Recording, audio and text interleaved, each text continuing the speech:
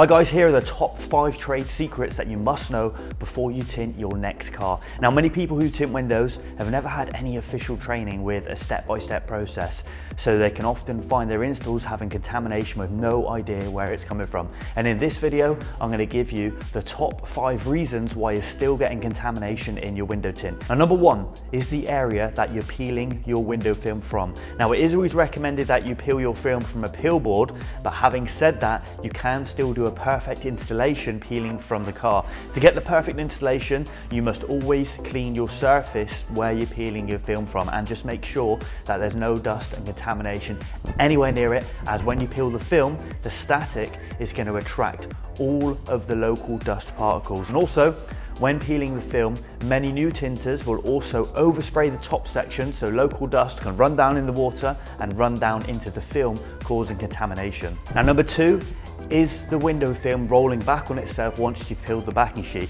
So even if you've cleaned your surface, it is still a high chance that the back of your film has collected dust from the process of when you were cutting it. And when the film rolls back onto itself, all of the dust on the back of the film will make contact with the uncontaminated fresh side and it will cause a spread of contamination throughout your tint. Number three is missing steps in the cleaning. So in our course, we go through a perfect step-by-step -step process to ensure a near perfect clean window before you install the tint. Ensure that you do not miss any of the steps or get them mixed up when cleaning a window. Number four, and this is without a doubt the biggest problem, is the installation method. Again, like cleaning, there are many steps to doing a perfect installation. You know, I have trained thousands of installers all over the world and I understand how delicate the learning process can be. If you install your tint and it touches the sides or sticks or folds, this will cause contamination and creases and problems.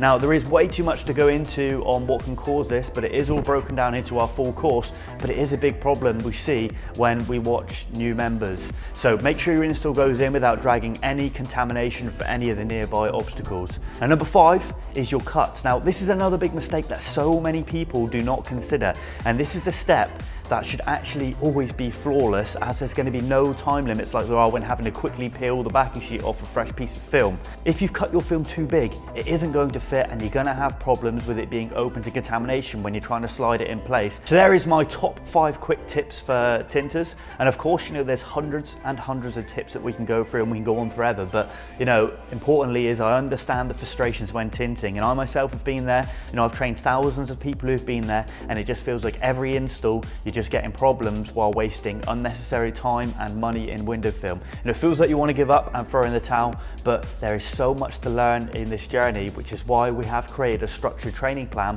with over 230 tutorials and five courses that takes you through every single process. From the very basics, we strip down everything in a fully structured formula that again has helped thousands of people like yourself save time and money and become professional window tinters and professional tint business owners. Because on top of that, we have a full business strategy that shows you how I scaled my business from being a mobile tinter to then opening over 180 locations around the world. Now this is a plan that has seen our members become leaders in their area within a matter of months. A full business plan that includes everything from you know building your brand new brand, um, getting top of Google, and even you know a free website template that is for your business that is alone valued at $1,900. So you know I'm sure you're learning tinting because you've discovered how much money that us window tinters are making. So if you're serious about becoming not just a window tinter, but a professional window tint business owner, then click the link below to start your journey with us and join over 700 members just like yourself in our private tint group where we talk tint all day, every day. I'll see you there.